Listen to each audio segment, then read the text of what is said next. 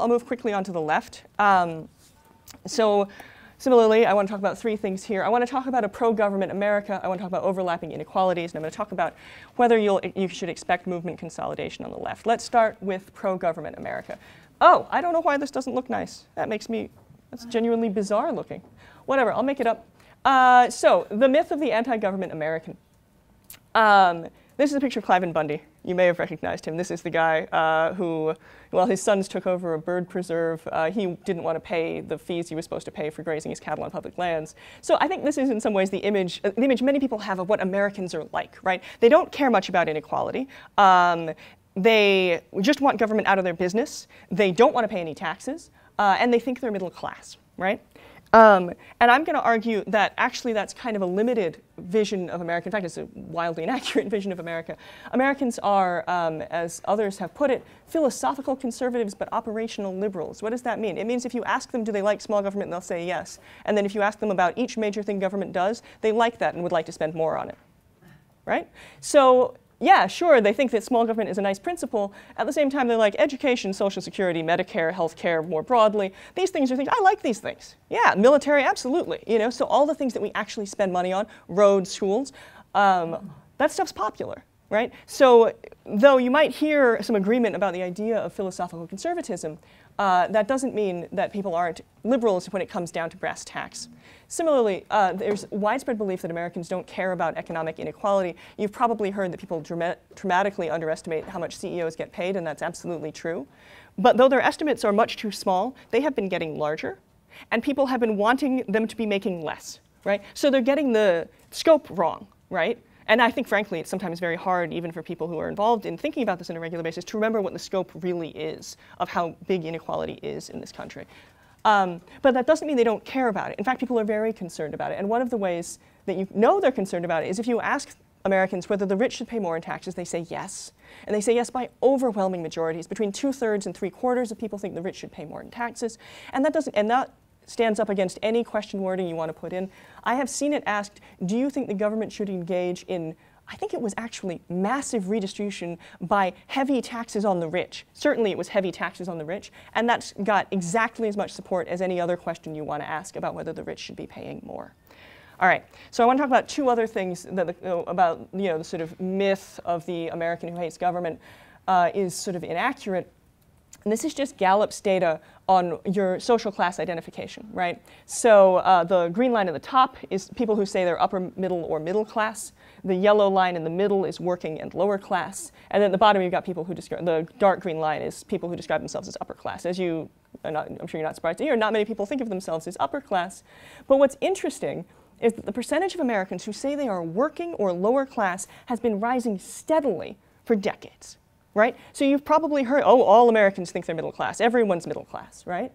Well, actually, 48% of Americans describe themselves as working in lower class now. This is a fundamental shift in terms of how people imagine their place in the economic order. So if so it may be true that how many billion CEOs makes is, is, sometimes a little blurry. People have a hard time imagining exactly how rich the rich are. But that does not mean that they do not recognize that the economic conditions of this country have shifted fundamentally, right? Okay. So that's one thing worth keeping in mind the next time you, um, you hear that Americans haven't noticed what's happened to the economy. Here's another way. This is actually from my own research. Um, another way of looking at Americans' commitment to government. So I've talked about the fact that Americans are willing to pay, uh, want the rich to pay more in taxes. Uh, they also are willing to pay more in taxes themselves. This the bottom line is just a timeline from the mid 70s, 1978 to 2014. Um, each dot represents the tax increasing state ballot measures, right? So this is California. I do not need to explain this here, but across the country, states sometimes vote on tax measures. And uh, sometimes they're voting on measures to increase taxes. And they did here with Prop 30 a few years ago. Um, and the size of the dot is relative to the number of measures. So as you can see, it's not that there have been many, like a lot more tax increasing state ballot measures over the years. That has really varied. But what has happened is they've gotten much more successful. This is the fraction of measures passing.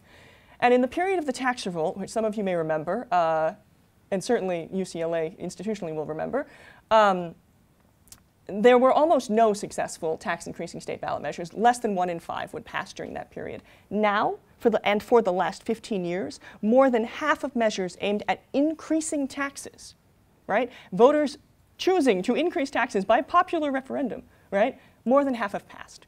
So the tax revolt was a really long time ago, and I think we sometimes forget that. You know, because the fiscal implications for states like California, where I've lived, Massachusetts, where I've also lived, are certainly still with us.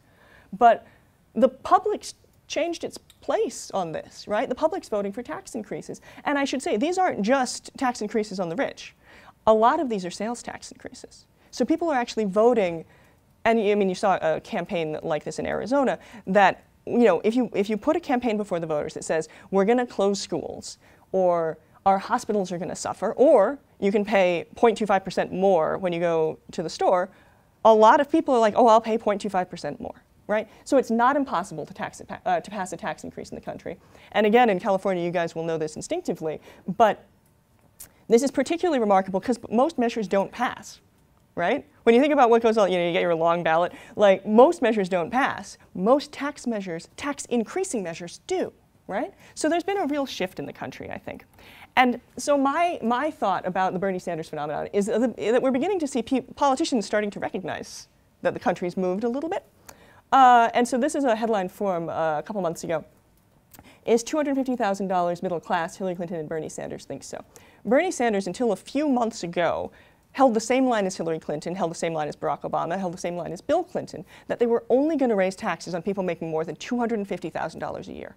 Right? You may remember that from the 2008 campaign. Barack Obama said it over and over and over again. He was only going to raise taxes over $250,000 a year. Bill Clinton had made the same commitment. This has been uh, standard Democratic position. Well, then Bernie Sanders put forth a health plan that would have been Medicare for all, right, and various other plans, family and medical leave. Uh, and he got asked how he was going to pay for it. And I, and anyone else who looks at taxes, was like, well, he's going to need a payroll tax to cover that, right? Because how do we pay for things like Social Security and Medicare? We pay for it with payroll taxes. And so when Bernie Sanders put forth his tax plan, it included payroll taxes. And what did that mean? It meant that if you calculate the amount of taxes you're going to pay under Bernie Sanders this is a married couple making $60,000 a year with one child. You're going to pay a lot more under Bernie Sanders, right? Because what you're going to get under his plans would be Medicare, right? So presumably you don't then have to pay for health insurance and various other things would of course be free and you don't see any of that in this chart. But the point is, this is a very large tax increase, right? And this is how Bernie Sanders is doing in the polls. I don't think that 15 or 20 years ago, youth, and by the way, I should say, Bernie Sanders has not been sneaky on the subject of whether he's going to raise taxes on people. He got asked in a debate, are you going to raise taxes on the middle class? His answer was literally yes. That's what he said, right? So he's not, not done a bunch of hand waving to disguise the fact that his plans involve some tax increases, right? And so Bernie Sanders and Hillary Clinton have been polling relatively close nationally for quite a long time. And I think that's a really striking phenomenon that you wouldn't have expected uh, even 10 or 15 years ago. All right, I want to talk about the, the sort of major demographic break between Clinton and Sanders, which is the, the youth vote, um, right? So this is uh, support for Clinton and Sanders. Oh, I should say the green line is people who are not sure, haven't decided, or not going to vote. Um, so people are going to vote for Sanders people are going to vote for Clinton. Among people 18 to 29, you see sort of overwhelming support for Sanders. Um, what do I think that that means, given my sort of more general claims about the pro-government American? I don't think, and I don't think there's uh, survey evidence to support the idea that young people are actually more committed to socialism than older people, though they are less frightened of the term. And that, I think, is the point. Uh, younger people for younger people, and in fact, I'm, by the way, 34, so I'm just over the border of millennial. I'm almost someone who people are interested in hearing from, but I'm not. Uh, I was born in October of 1981, so I missed the cutoff by two months. Uh, but for people younger than me, I think even for me, uh, the tax revolt is not a salient political memory for me. Reagan is not a salient political memory for me. And, you know, people younger than me grew up in, uh, I went too far, where is it? Oh no, I've broken it. Where is it? Oh, really? Okay, I'm not gonna get to show you my pretty tax chart again. Um, so people in my age or younger grew up in a time when you could vote for tax increases, when that's something that happened, right? They, and they grew up in a time where you saw the struggle it was to pass legislation, like for instance Obamacare, which is a massively redistributional policy, the struggle that you faced even if you're trying to do very moderate policy, right? So I think that for young people, it may be the case that the things Sanders talking about don't seem as politically impossible because the salient political memories of the sort of Reagan era are not salient to them. And so I think that for many older Democrats, they think that Sanders' plans are good. They're just pie in the sky. I think younger people, that's not, that's not how they're seeing those policies. Okay. Now I want to talk about um, overlapping inequalities, right? And I think this has been a really major part of the Democratic campaign. I almost can't overstate how important this is for the Democratic Party right now. Um, so you may remember these. this is a, a, rally that Bernie Sanders was doing in Seattle uh, on the also the question of Social Security. It got interrupted by Black Lives Matter protesters. You can see them here. Uh, this is Hillary Clinton. She was. Um, this is a small, large donor event that um, Black Lives Matter or a, a Black Lives Matter supporter uh, managed to uh, get into and held up this sign. Um, I don't know if you can read it. It says, We have to bring them to heel, which is a quote from Hillary Clinton uh, during the sort of crime bill, super predator era. Um, and I think the most important thing to recognize about what Black Lives Matter has done in uh, targeting Democrats is that they've succeeded overwhelmingly at changing the rhetoric in this country. Now, it's a political campaign, so all we're talking about is rhetoric, right? We have not, this is not policy change at a national level, uh, and there are many reasons to think that policy change at a national level is really hard.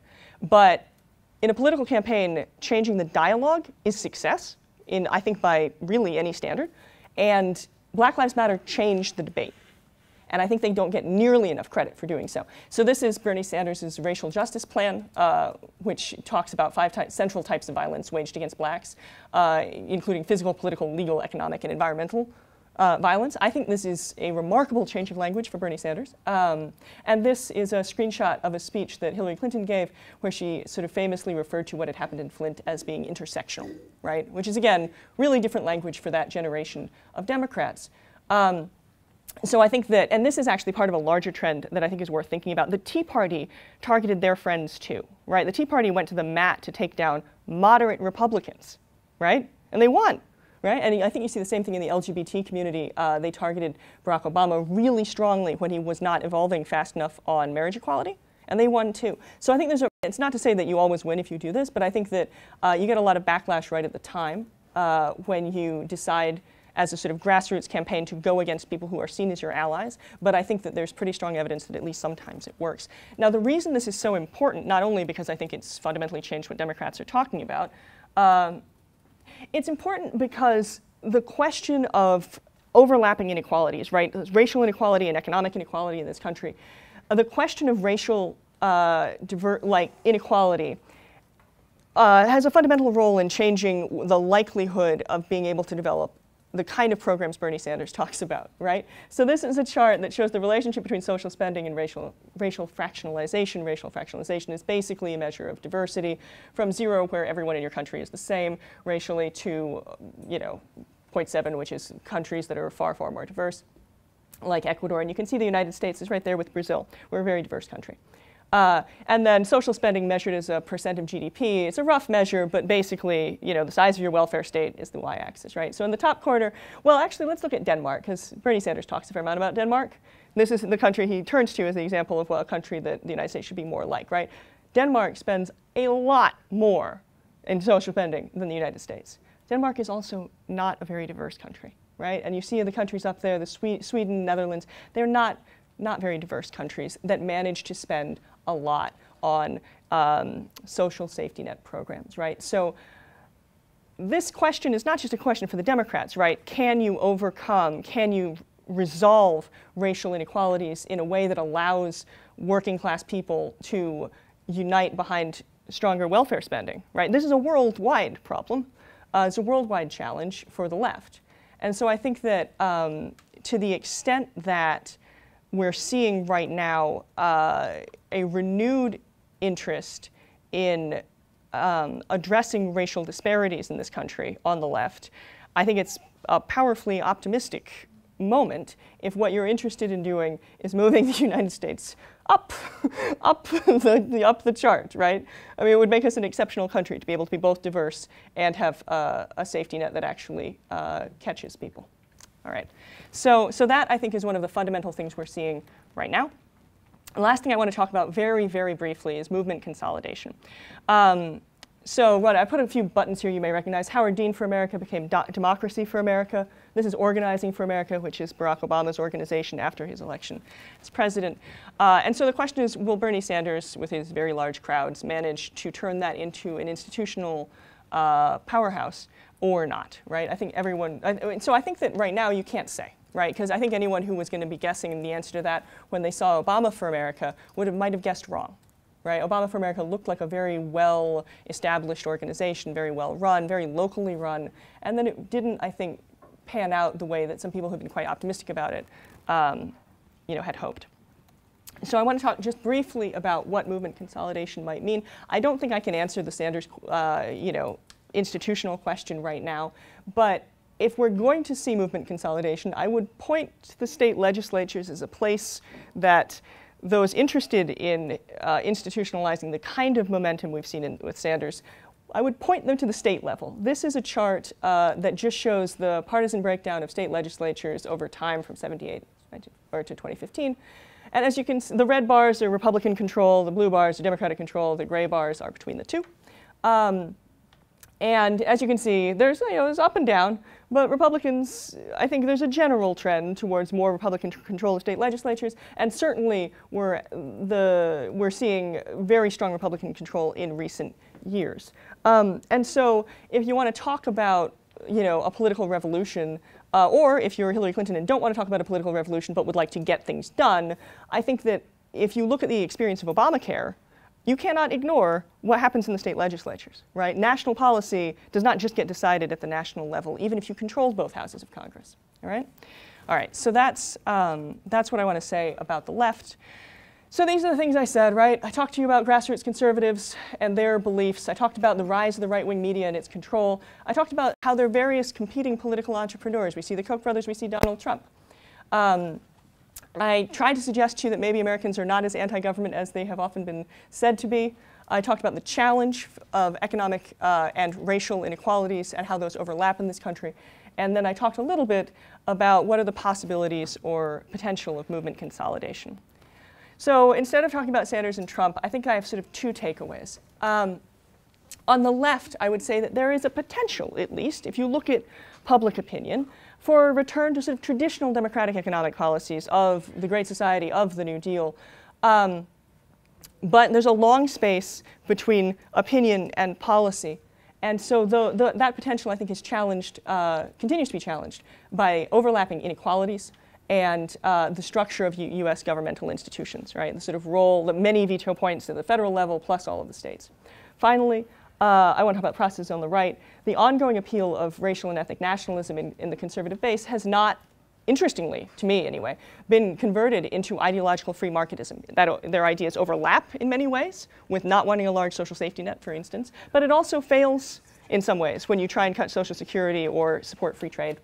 And then finally, I'll say that the decay of Republican institutions, I talked about the media, I talked about um, the sort of the RNC and the Republican Party institutionally. The decay of Republican institutions is really striking, but it may not mean the failure of conservative priorities, because to the extent that you can achieve your goals via gridlock, you don't actually need to be able to make a national uh, majority coalition. All right, that's it. Thank you. Great. Thank you